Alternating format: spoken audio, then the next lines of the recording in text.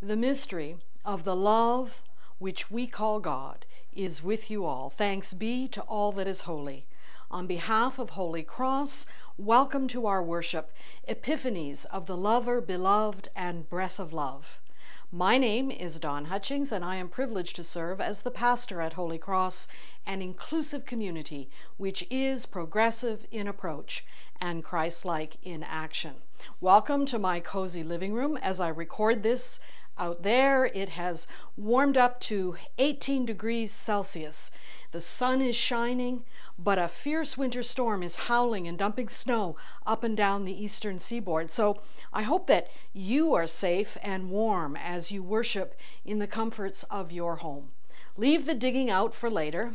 Take some deep cleansing breaths and open yourselves in preparation to rejoice in our many blessings as we worship together in ways we hope will challenge you to become love in the world. Our worship today is inspired by two challenging love poems. One love poem you will be familiar with. It comes to us from the Apostle Paul's letter to the Corinthians. Sadly, all too often this poem is sentimentalized in ways which lead us to miss the challenges of 1 Corinthians chapter 13. The other love poem comes to us from the 13th century philosopher, theologian, and poet Ramon Llull. The poem comes to us from his book of the lover and the beloved. So I invite you to open yourselves to a way of exploring the cosmic nature of the divine mystery, which is the love that permeates the cosmos. As always, we worship as we live in the presence of the love which is beyond the beyond and beyond that also, the one who is our lover, beloved, and breath of love. Thanks be to all that is holy.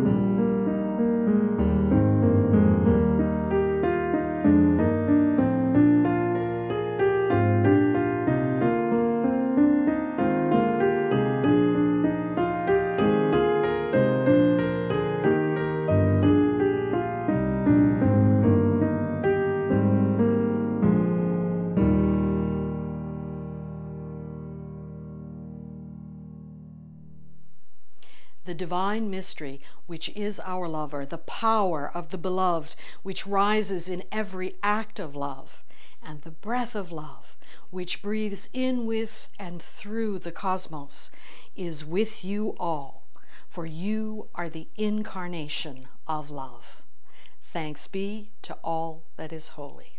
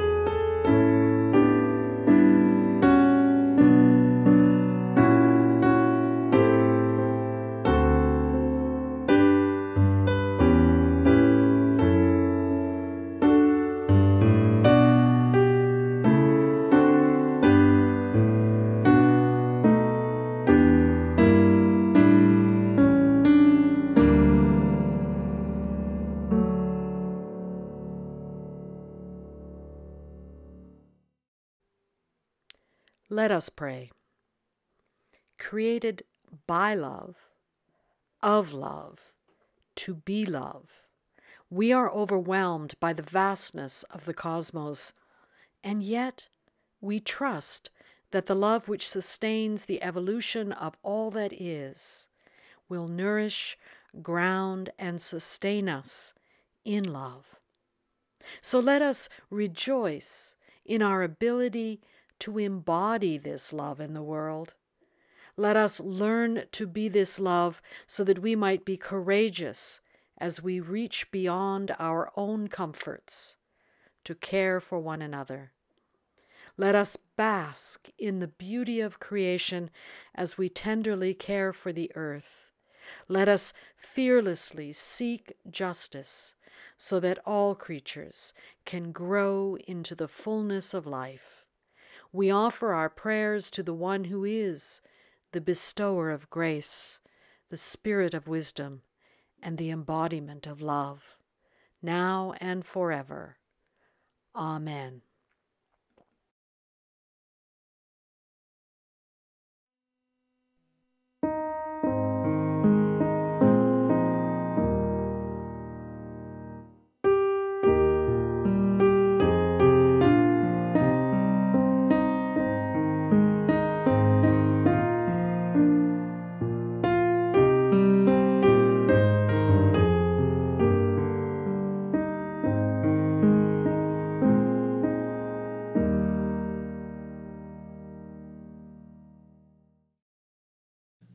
A reading from the Book of the Lover and the Beloved by the 13th century philosopher Ramon Llull. The lover was asked to whom he belonged. He answered, To love. What are you made of? Of love. Who gave birth to you? Love. Where were you born? In love. Who brought you up? Love. How do you live? By love. What is your name? Love. Where do you come from? From love. Where are you going? To love. Where are you now? In love. Have you anything other than love? Yes, I have faults and wrongs against my beloved. Is there pardon in your beloved? The lover said that in his beloved were mercy and justice, and that he therefore lived between fear and hope.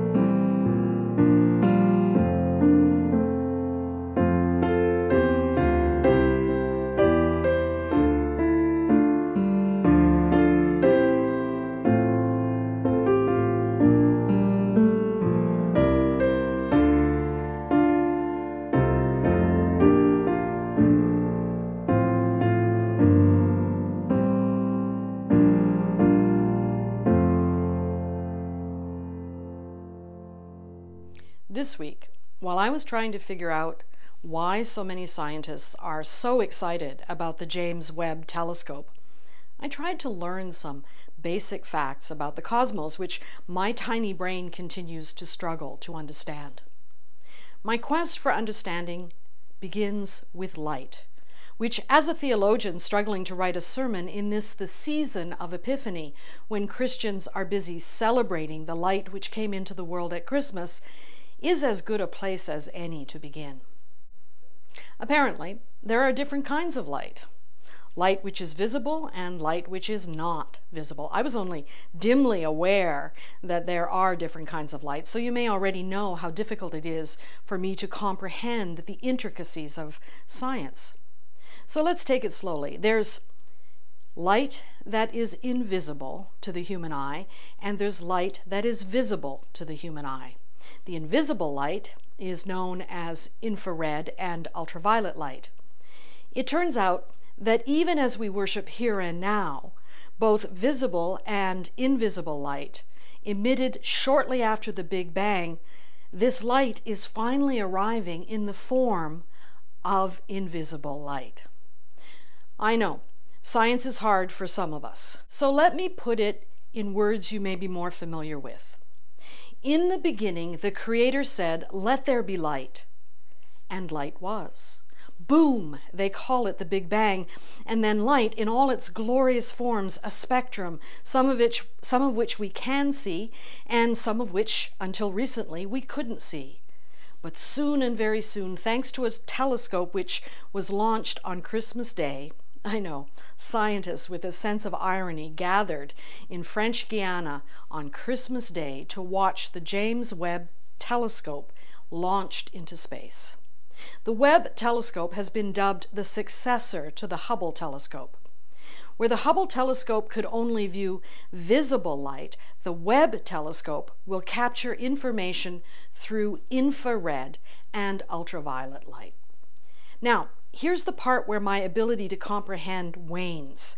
The Webb telescope will be able to see farther back into time, capturing information from ultraviolet and visible light emitted during the epoch when the very first galaxies formed.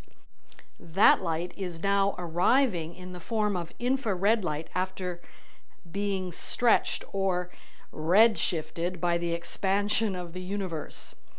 Suffice it to say, the largest, most powerful telescope in history is about to blow our minds, revealing information which will shed light on the origins of the cosmos. Scientists will be unraveling information from a device capable of enabling our species to look back in time to the genesis of our cosmos. The fabulous thing about the scientific method is that it has a way of thinking which enables us to confirm, deny, or revise our theories about the nature of reality. In this ever evolving cosmos, our theories about what is and isn't true, these theories evolve based on the theory's ability to hold up in the face of observable evidence. A wordsmith like myself takes great delight in the origin of the word theory, which comes from the same Greek words from which we get the word theology. Theo is Greek for the mystery we have come to call God, and logos is Greek for word or reason. The combination of these Greek words came together over time to evolve into the verb theorai, to watch and contemplate or speculate ideas and reasons about the nature of what we see. We humans are ever so fond of theorizing about the nature of the reality in which we live and move and have our being. According to scientists, we need to prepare ourselves for the epiphanies which are about to require us to confirm, deny, revise, and even develop new theories about the origins of the cosmos.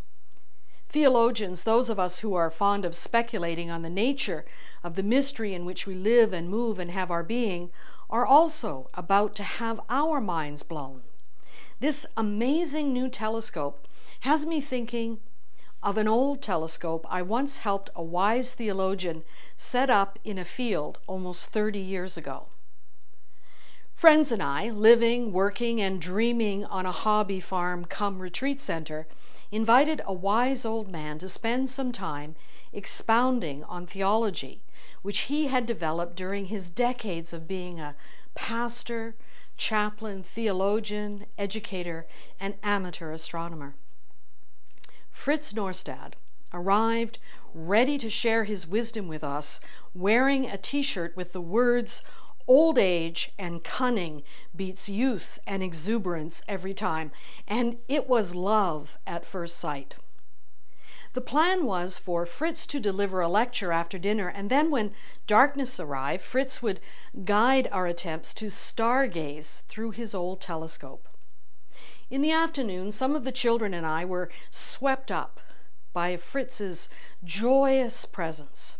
The children couldn't get enough of Fritz as he mesmerized them with stories which always ended with children rolling in the grass with laughter. But it wasn't all fun and games. Fritz employed the children to help him cart his telescope out into the field to get it ready for the evening's activities. A deal was being negotiated that would see the children stay up long past their bedtime in exchange for some silence during Fritz's impending lecture. But before the deal could be sealed, one of the youngest of the children managed to push his way up close to Fritz, as if on a mission to secure some understanding of what was going to happen long after he should be in bed. Little three year old Justin, his eyes wide open, pointed to the telescope and in a voice filled with wonder asked, do stars come out of there? When the other children's laughter died down, Fritz took Justin's hand and placed it on the telescope and said that if Justin could stay awake long past his bedtime, not only would he see stars, but through the telescope, Justin would see the very face of God. Needless to say, all of the children were quiet during the lecture except for the parts where Fritz elicited gales of laughter from all of us. And when the time came, little Justin was the first among us to see stars come out of the telescope as we stared into the very face of God. Over the decades, which have transpired since that spectacular summer's night, I have often peered into the cosmos, rejoicing in the memory of the awe and wonder of an enthusiastic child who, thanks to the wisdom of a wise old theologian, began to see the face of God in the beauty and the majesty of the cosmos. It wasn't just wisdom which Fritz shared with us, it was love. Not the hearts and flowers kind of love, but the love which is cosmic, so deep and vast that it not only permeates all that is, it is also the source and sustainer of all that is. The kind of love we see all around us. We live and move and have our being in the one Jesus' life and death taught us is love. The love which the Apostle Paul describes in the first letter to the followers of the way in Corinth, where he writes, If I speak in the tongues of mortals and of angels, but do not have love, I am a noisy gong or a clanging cymbal. And if I have prophetic powers and understand all mysteries and all knowledge, and if I have all faith so as to remove mountains, but do not have love, I have nothing. If I give away my possessions, and if I hand over my body so that I may boast, but do not have love, I gain nothing. Love is patient. Love is kind. Love is not envious or boastful or arrogant or rude. It does not insist on its own way. It is not irritable or resentful. It does not rejoice in wrongdoing, but rejoices in the truth. Love bears all things, believes all things, hopes all things, endures all things. Love never ends. But as for prophecies, they will come to an end. As for tongues, they will cease. As for knowledge, it will come to an end. For we know only in part, and we prophesy only in part, but when the complete comes, the partial will come to an end. When I was a child, I spoke like a child, I thought like a child, I reasoned like a child. When I became an adult, I put an end to childish ways. For now we see in a mirror dimly, but then we will see face to face. Now I know only in part. Then I will know fully, even as I have been known. And now faith, hope, and love abide. These three things, and the greatest of these is love. How many of us have the courage to seek the face of divinity, the one which is love? As for our theories and theologies, they too will come to an end, for we know only in part, and the partial will come to an end. In her latest book, The Primacy of Love, scientist and theologian Ilia Delio quotes Pierre Teilhard de Chardin, who insisted that love is the most universal, the most tremendous, and the most mysterious of cosmic forces. Writes Delio, by declaring love a cosmological force, Teilhard indicated that love is an energy present from the Big Bang onwards, though indistinguishable from molecular forces. In his poem, The Eternal Feminine, Teilhard speaks of cosmic love in the voice of wisdom. Wisdom Sophia. I am embedded in the force field that is driving the cosmos toward greater novelty, towards greater integrity, and eventually towards greater consciousness. Like little Justin, I can't help wondering not do stars come out of there, but rather from where does love come? Like the scientists who created the Webb telescope, I want to know where it all began. Like the theologians who dared to question who, what, where, why, how, I have questions of my own, looking up to the wonders of the cosmos out there, at the beauty of the earth. Yes, of course, I see the face of love in the reality of which we are a dynamic part. I see the face of love in the faces of sisters and brothers whose presence has touched me, molded me, shaped me, and in the faces of those I have yet to meet. I pray I'm wise enough to see the face of love.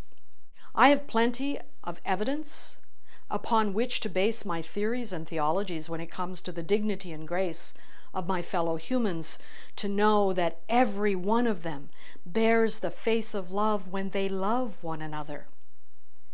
What I all too often fail to know is that I too am the face of love when I love.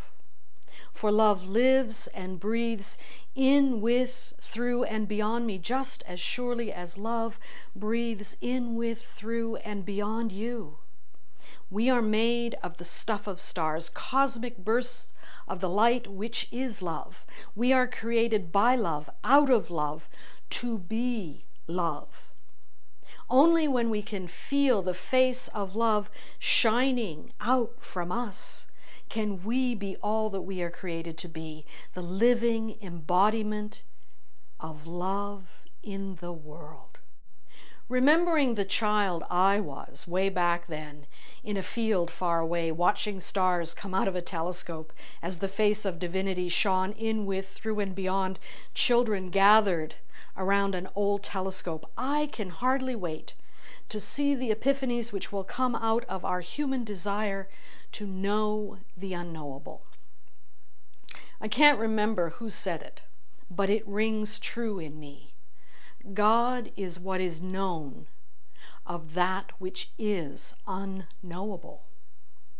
What I know of the divine mystery we call God is that God is the love in which the cosmos continues to evolve. And I, for one, don't mind a bit that to know this love, I will inevitably have to put away some treasured theologies and theories as I continue to grow into the one in which I live and move and have my being, the one who is our lover, beloved, and breath of love. For now we see in a mirror dimly, but then we will see face to face.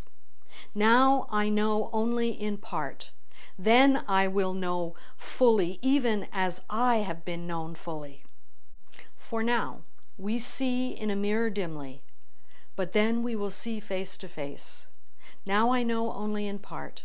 Then I will know fully, even as I have been fully known. And now faith, hope, and love abide, and the greatest of these is love. So, peer through the light, no matter how invisible it may seem. Look and see that you are the face of love, here and now, in this time, in this place. You are the incarnation of love. Embody the light and let it shine through you. Love comes out of you.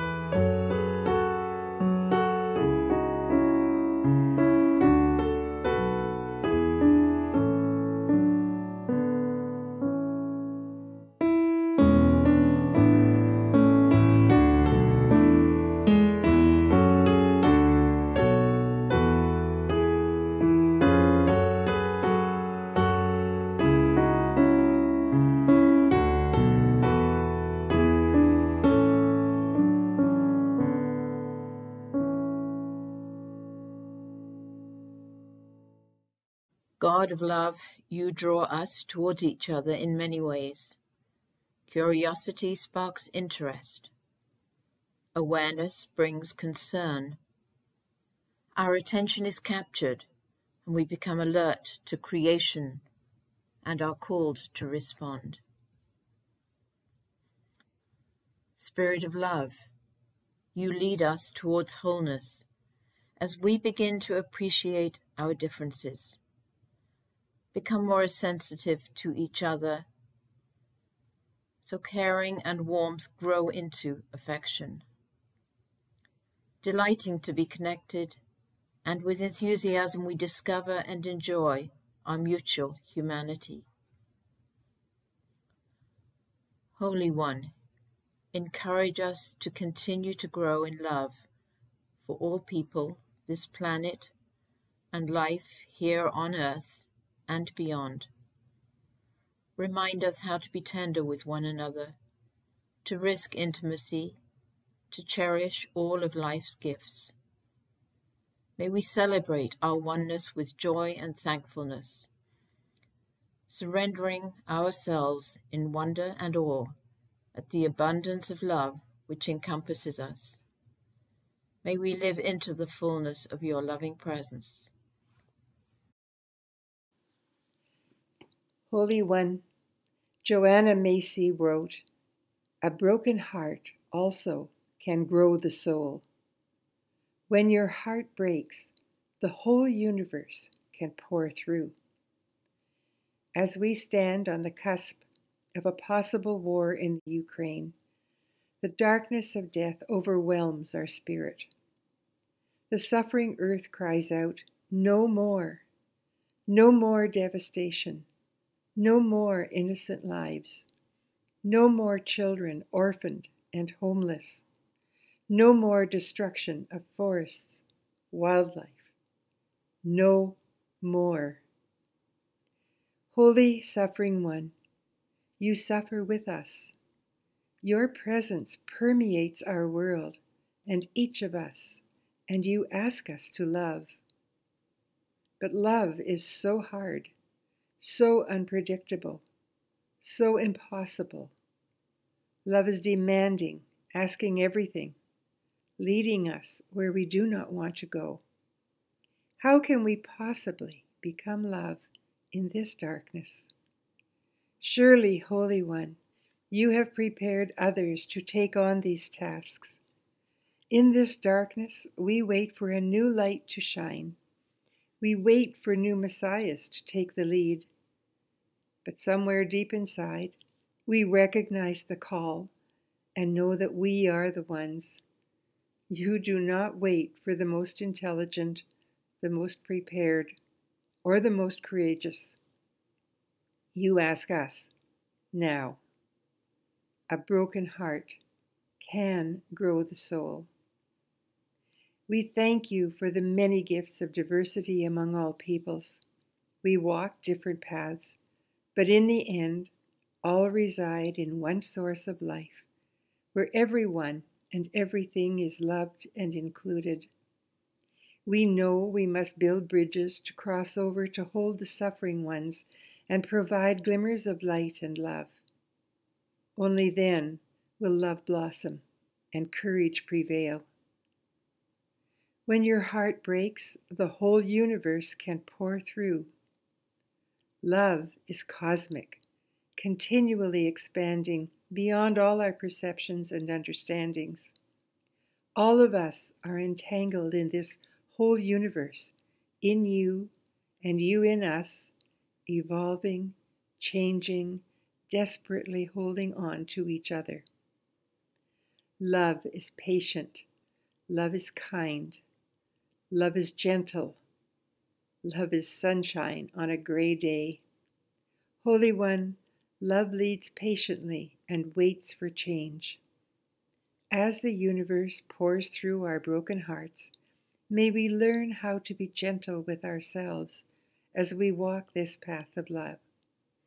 May we be sunlight rippling through sunset skies, a whispering breeze that refreshes, the human touch that melts icy hearts, so that we become love. A broken heart can grow the soul.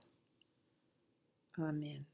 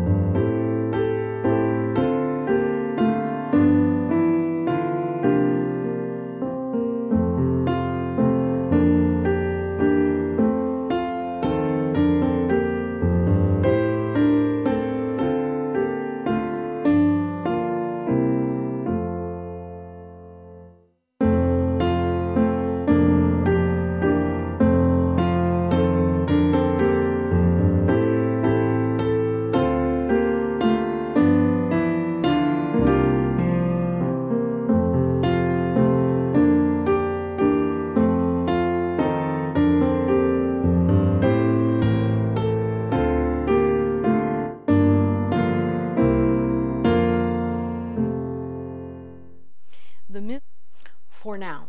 We see in a mirror dimly, but then we will see face to face. Now I know only in part, then I will know fully, even as I have been fully known. And now faith, hope, and love abide, these three, and the greatest of these is love. So peer through the light, no matter how invisible it may seem. Look and see that you are the face of love. Here and now, in this time and in this place, you are the incarnation of love. Embody the light and let it shine. Love comes out of you, love which is beyond the beyond and beyond that also.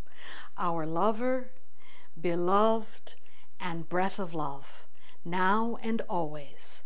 Amen. Thanks be to all that is holy. Shalom, dear ones. Shalom.